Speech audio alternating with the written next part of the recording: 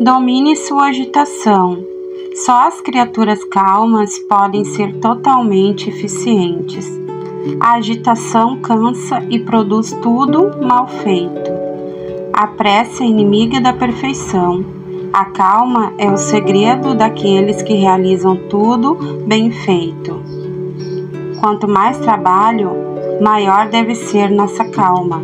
Domine sua agitação, permanece sereno e tudo lhe sairá bem.